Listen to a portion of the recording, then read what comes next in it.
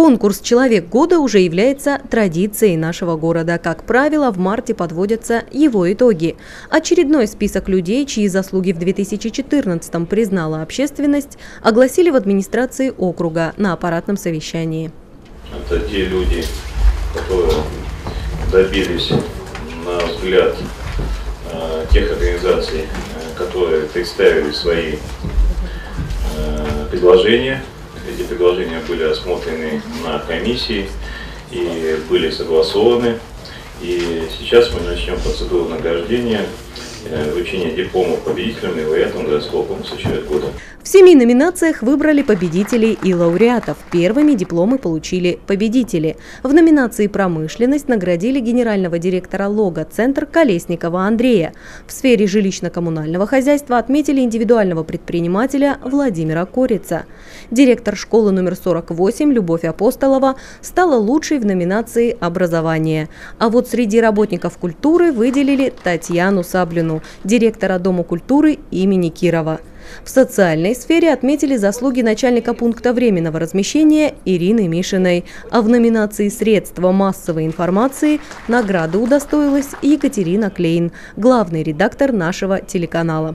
Один из самых продвинутых каналов, который работает на опережение, который всегда э, в прямом эфире, мы не в прямом эфире сейчас? Нет.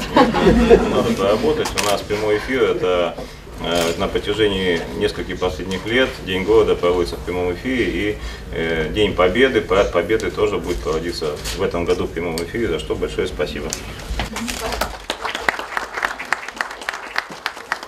В этом году будет пять лет, как телеканал Институт ТВ работает в городе. И за это время это, пожалуй, самая большая для нас, для нашего коллектива награда.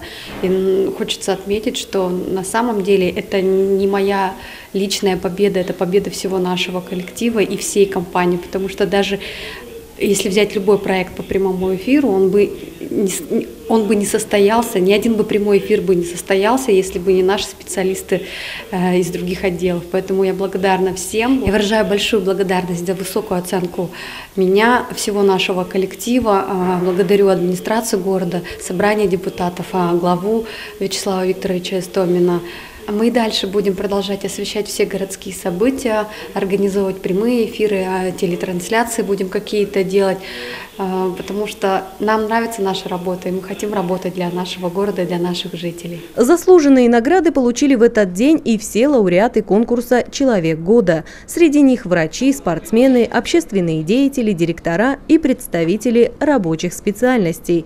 Лучшие из лучших отмечены дипломами и премиями.